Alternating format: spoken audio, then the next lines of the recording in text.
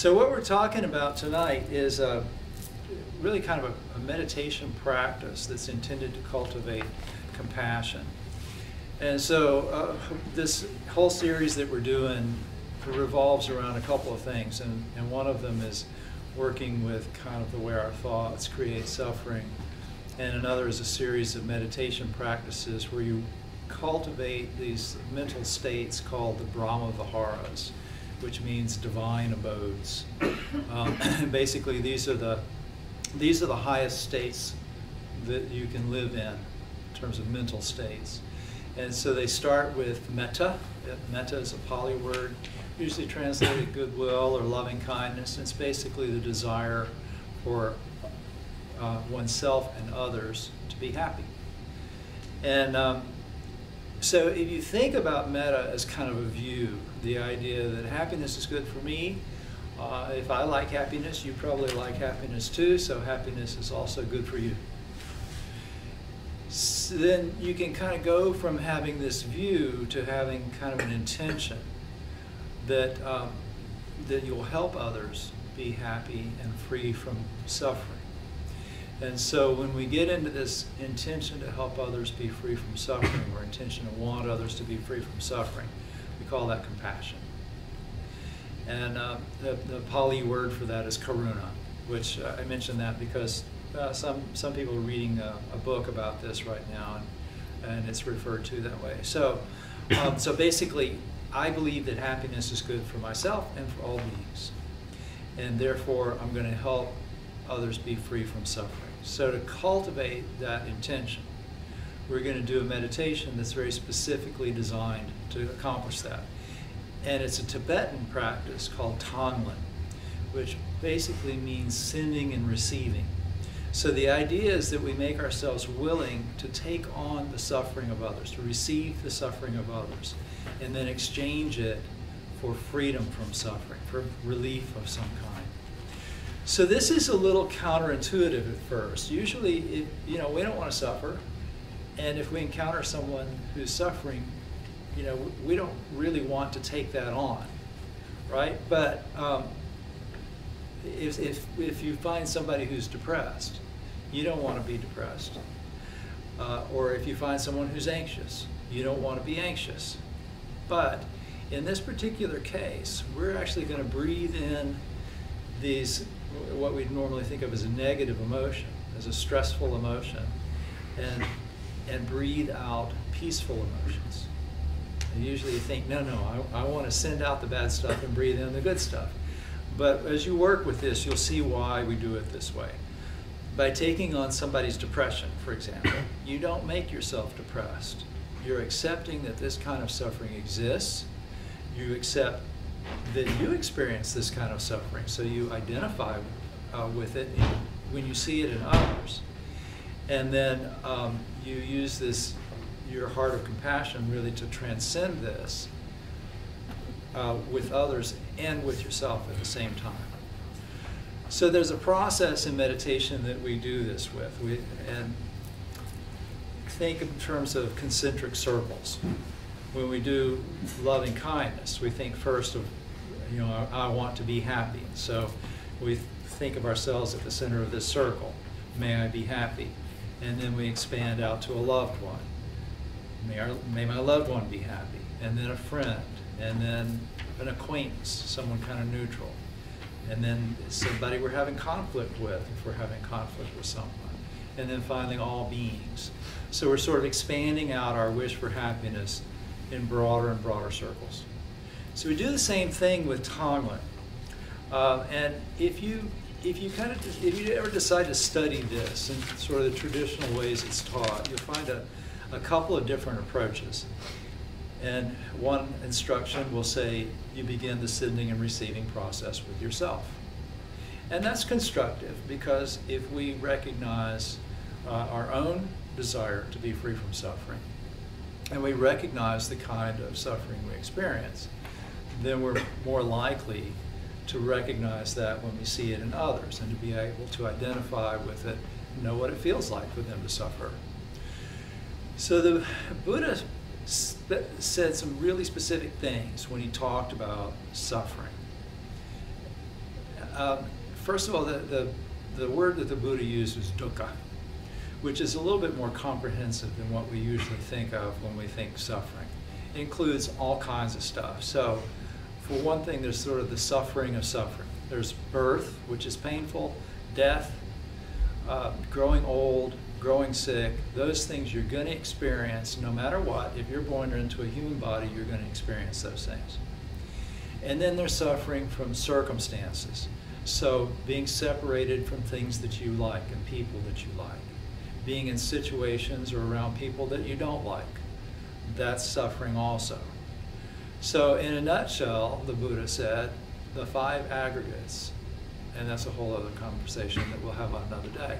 But basically, life contains the seed of suffering. So, uh, circumstances and situations arise, adversities and difficulties arise. But the degree to which we experience stress and suffering happens, uh, occurs largely as a result of the way our mind engages with these things when they happen. So when we do Tonglen, when we do this meditation we're going to do, we notice the situations that cause stress, that cause suffering. We accept them, and then we work with compassion to abandon them. So you might, during the course of a meditation, suddenly realize that this body is subject to aging, which I know some of you are 20s and you don't believe this yet, but it's true. Um, so, accepting that the body is subject to aging, you can abandon the ways you create suffering about that, so that you can enjoy the present, uh, the present moment. And in the meantime, compassionately accept yourself with your stress about that.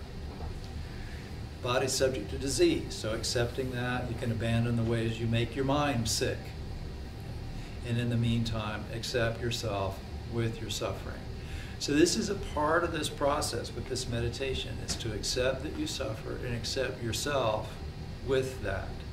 Because a lot of times we, we don't just want to reject the suffering. We kind of want to reject ourselves for experiencing it. So um, then you work with this with yourself. You recognize the suffering that arises. You accept what's going on. And then we move on to others. So this is kind of another instruction that you'll encounter. Sometimes to say start with someone that you want to help. Um, and this is kind of a good way to work with it too.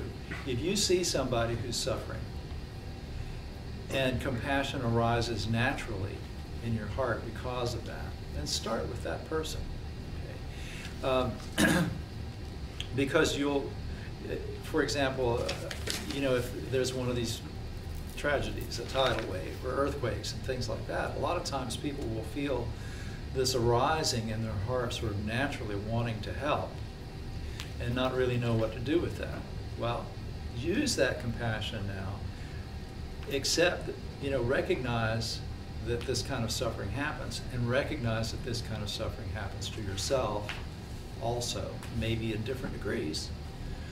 But we all experience these same kind of stresses. So yourself, a loved one, a friend, an acquaintance, your adversaries, all beings experience these kinds of stresses. So, um, as you're thinking about yourself, you'll think about things like anger. So, as you do this meditation, you'll recognize that anger has, is rising in. And so you'll breathe in your anger, angry feelings and breathe breathe them into your, basically into the center of your chest, into your heart center. It's not the, not the heart that pumps blood, that, that kind of center that you associate with, uh, with your emotions. And then you transform that into freedom from anger. So now when you encounter it with other people in the meditation, you can take on their anger too. So you, you identify with it. I recognize that I get angry. I recognize that that's stressful. I can accept it I can transform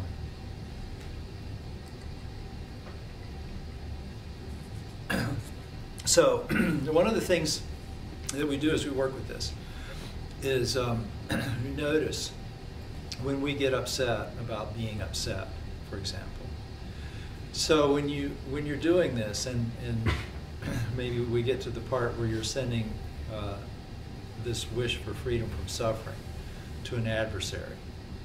And you start thinking, oh, I don't want them to be from, free from suffering. I want them to suffer. I don't like them, right? Then the, the next thing, if you're practicing Buddhism, is to go, oh, I shouldn't feel that way. And so now you're kind of pushing that away from yourself. So use that as an opportunity to wake up a little bit. Okay, I'm born a human being um, with this particular karma that leads to that kind of emotional experience. And so accept yourself with that and then start to you know turn that compassion onto uh, onto that mechanism in yourself. And then when you say anger in someone else, it makes it a little bit easier for you to accept it with them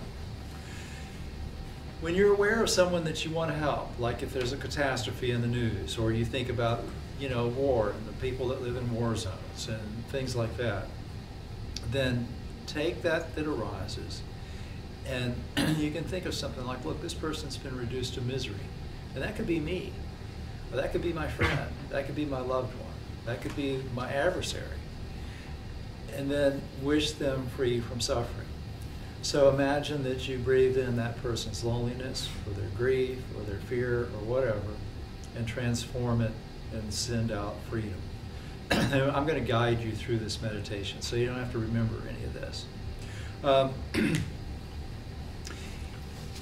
don't get caught up in problem solving. This is kind of one of the roadblocks that we hit when we try to practice this sometimes is you'll be thinking, may this person be free from suffering and then you'll start thinking, well, what can I do? How can I do that? How can they ever be free from suffering? This situation is terrible. Don't worry about that. Don't try to solve the problem. Your job during that 20 minutes that we're going to meditate really is to open up your heart to compassion, to open up your heart to recognizing suffering when you see it and reacting to it compassionately. There's another roadblock, which is this sense of not wanting to take on someone else's stress. The thing is, you're getting it anyway. If somebody's angry and they're sending out negative vibes, to try to push it away just creates more stress. It's coming your way anyway. So take it, accept it, transform it, react to it differently. This is a really very powerful way to meditate. Um, and so a lot of the regulars have heard this story before, but I got a whole new crowd. So when, when, I was I first started working with this after um, uh, Michelle and I had moved to DeLand, and um, I was having some anger issues. I'd gone through some a tough time, and, and so I was I was dealing with the aftermath of some things, and I gotten back to regular meditation practice and I decided I was going to really work on this and turn it on my anger. And um, so uh, one day, Michelle and, well, Michelle, when we would go to someplace like Walmart or something, when we got ready to check out, Michelle would make me wait outside because she knew that if, some, if the person, if the clerk was rude to us or something, I was going to react really badly to that. I used to manage retail stores, and the fact that I couldn't fire that person just drove me crazy. So, so we get ready to check out. She'd go, wait out front. I'll be out there in a little bit. so one day we were running around doing a bunch of errands and stuff. We were getting ready for some event, and um, and we go to Popeyes. We realized we hadn't eaten anything, so we stop into Popeyes, and I go up to the counter, and uh, a guy comes up, and this guy probably mid 50s or so. And he says, Yeah, what do you want? And I said, uh, Two piece spicy white meat with fries. Looks at me like I just said the dumbest thing he'd ever heard in his life. And he goes, You want a number three. How do you expect me to get your order right if you order it like that? And I felt the blood begin to rise, you know, to boil. And then all of a sudden, I see this guy and the suffering he's going through.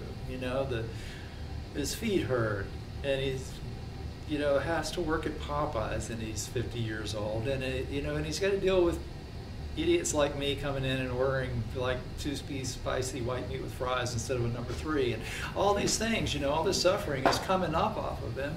And so I just breathe it in. It's like, okay, I take it in. And I start sending back, you know, this sort of white light, right? This uh, freedom from stress. And my stress went away. My anger went away. And I just said, yeah, okay, I'm taking number three, thanks. And Michelle, I thought she was going to faint. but, you know, things like that happen when you start practicing with this. You realize, look, I can take what's coming and I can respond to it differently. And when I do that, I'm going to feel differently. And the way I'm going to feel is different in really good ways. So I encourage you to, uh, to work with this.